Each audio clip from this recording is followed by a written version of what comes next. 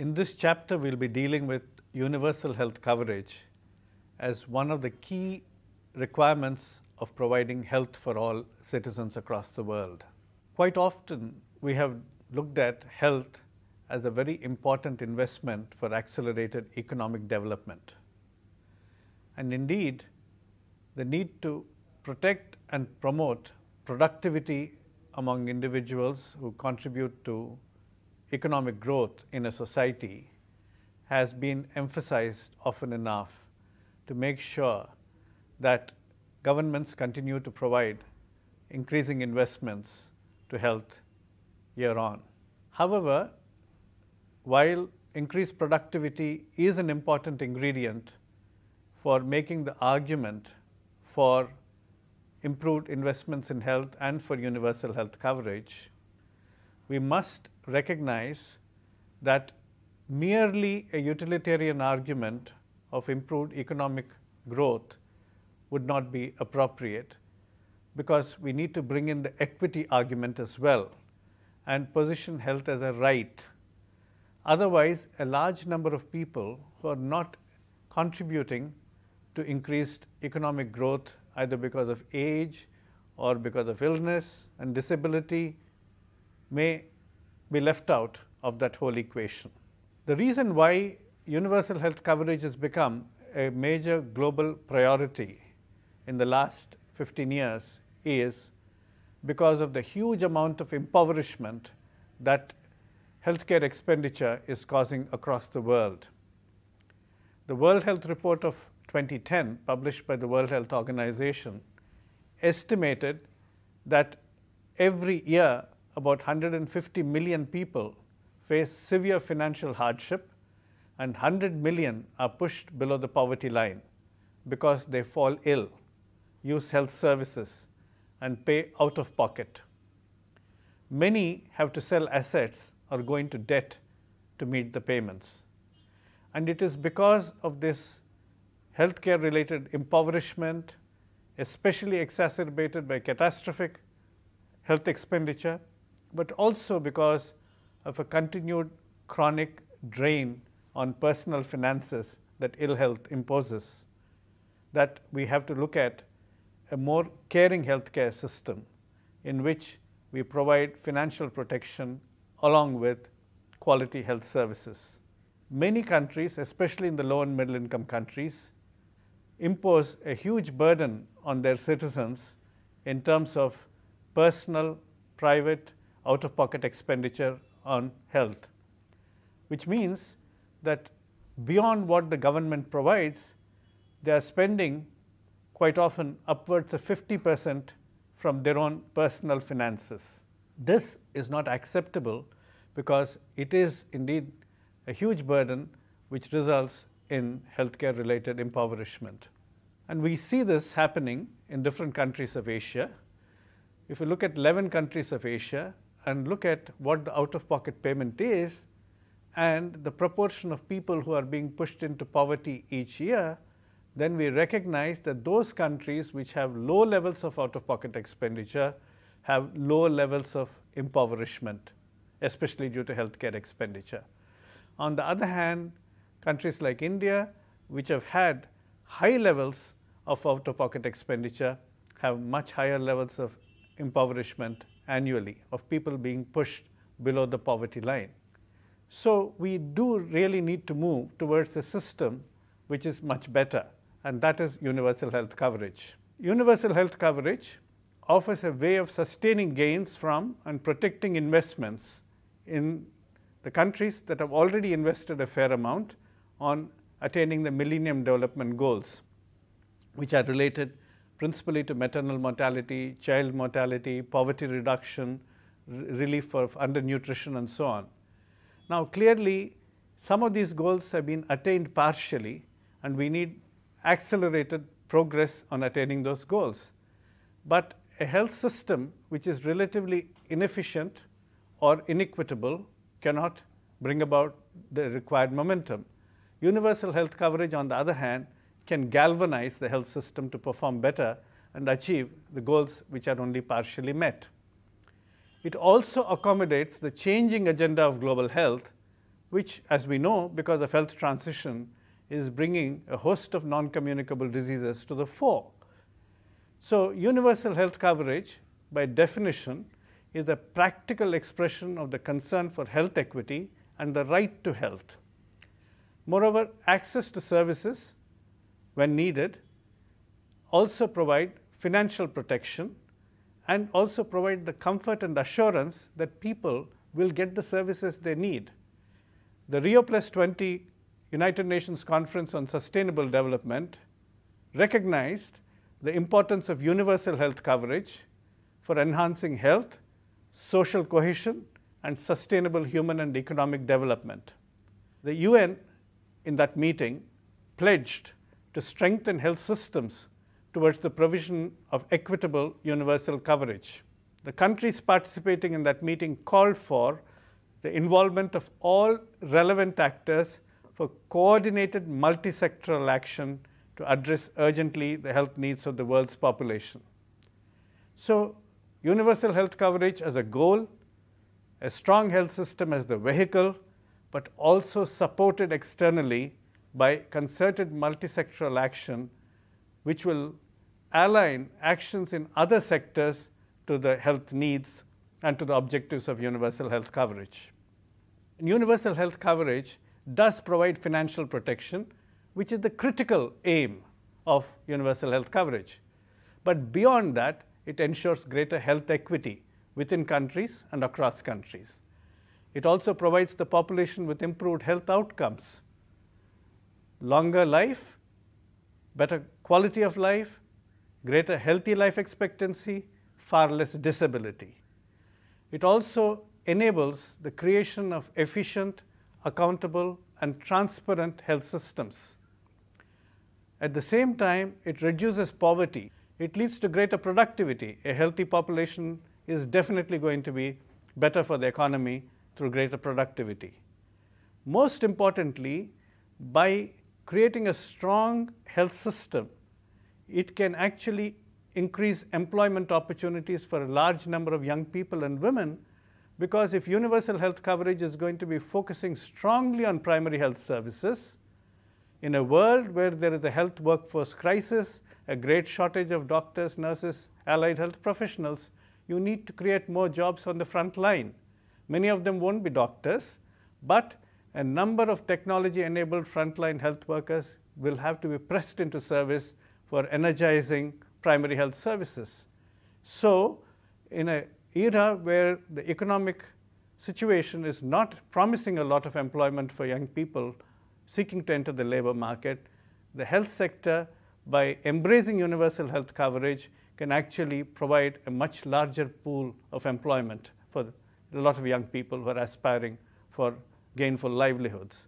When we come to the implementation of UHC, there are two very important interconnected components. Firstly, coverage with the needed health services, prevention, promotion, and treatment and rehabilitation, as well as coverage with financial risk protection for everyone. Since we said we will not be able to do everything overnight when we are introducing UHC, unless the country is very rich, Many countries in the low and middle income grouping will have to prioritize primary health care. Many countries look at primary health care, most of secondary health care, especially comprehensive maternal and child health services, essential surgical services, and emergency services as the initial package which they must introduce for universal health coverage and then expand by addition of other elements. But again, primary health care becomes the absolute mandatory initial component of any universal health coverage initiative. But at the same time, when we come to financial risk protection, we have to look at multiple sources. Virtually no country has achieved universal health coverage without a substantial infusion of tax revenues. That means a good part of universal health coverage has to be tax funded depending purely on health insurance, particularly employer provided or personally purchased health insurance does not usually help because we need a large risk pool for ensuring that there is sufficient sustainability for the program.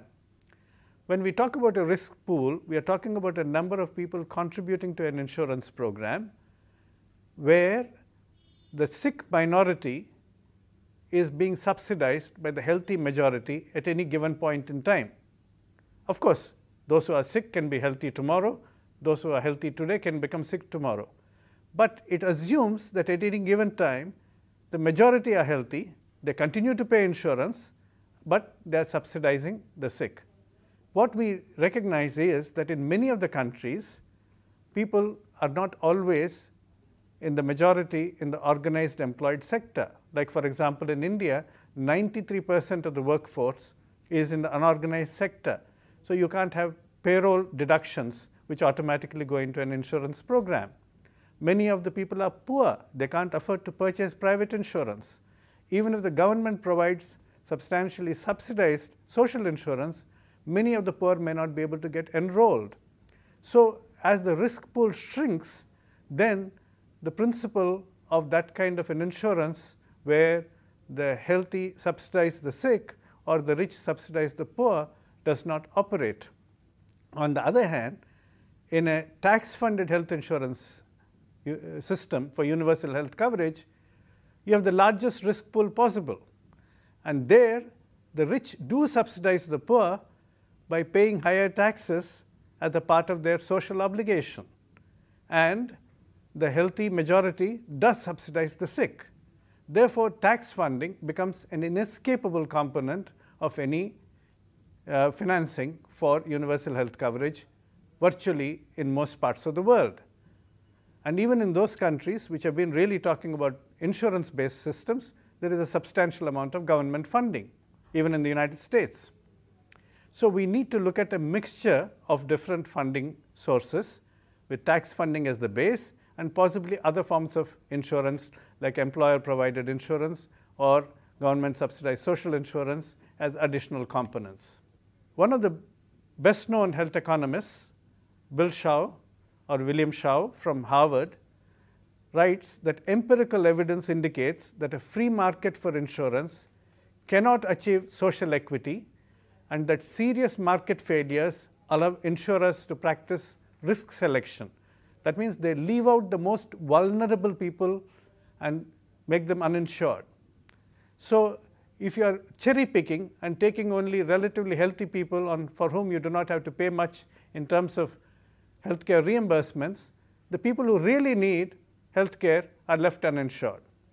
Dr. Hsiao also says that adverse selection among insurance buyers impairs the functions of the insurance market and deters pooling of health risks widely. Moreover, the insurance market's high transaction costs yield highly inefficient results. However, there are some advantages. Dr. Hsiao indicates that evidence suggests that reliance on market competition for the provision of healthcare may hold potential for more efficient and higher quality care. What we are really looking at is the weaknesses of multiple competing insurance systems which adopt an adverse selection process. On the other hand, we still would like to bring in quality and efficiency into the healthcare system. And even if we are going for a tax funded system, that is a requirement to look for efficiency and higher quality of care. Many countries have grappled with this problem and have adopted different models of universal health coverage, basically looking at their own country context and resource scenario. Indonesia has a social security providers law which replaced the previous community health insurance and under this 95 percent is paid by the government with the holder contributing 2 percent and the employer paying the remaining 3 percent. This has been particularly effective in Jakarta and is likely to be expanded across the country later. Now in Canada, Medicare includes coverage based on health on need rather than the ability to pay. Provincial and territorial governments are responsible for the management, organization and delivery of health services for their residents. In Mexico, there have been a combination of different health insurance programs substantially tax funded or government subsidized. Even though they are called insurance in the broad sense, they are bringing a lot of government funded and government provided health services. And here, particularly the introduction of Seguro Popular in 2003 brought financial risk protection to a further 50 million persons in the population. So that was a huge leap in terms of the number of people provided some assurance of health care with financial protection. In Thailand, the universal health coverage scheme started off with what was called the 30 baht scheme, where people paid less than $1 and that plan added about 14 million previously uninsured people to the Thai system. And this scheme has now been transformed with even greater coverage and a greater degree of financial protection at even lesser contribution uh, at the personal level. In China, where there was previously an urban employer provided insurance scheme and the rural and migrant populations were left uncovered, since 2003, two more schemes have been introduced, one for the rural population and one for the migrant population. And between these three schemes, now the coverage by some form of health insurance for provision of health care with some financial protection has extended to 96 percent. That means 96 percent of the Chinese people have some form of coverage. But since the depth of services is still a bit limited, they are still seeing the effects of out-of-pocket expenditure and catastrophic expenditure. As public financing increases, this is likely to decrease even in China. In Brazil, the Unified Health System, which is a nationalized program, provides primary health care, while a network of public and contracted hospitals delivers specialist care. Primary care provision has substantially increased since its inception, and this also includes a national immunization program. And Brazil has adopted universal health coverage as an objective because the constitution has a right to health incorporated. And therefore, UHC is an important value. In the United Kingdom, where uh, the National Health Service started off as a model for many other countries, which are now aspiring for universal health coverage, the government is responsible for funding access to health care and for supplying health services. And this is now a very important area where we find tax funded services reaching all sections of the people with assurance.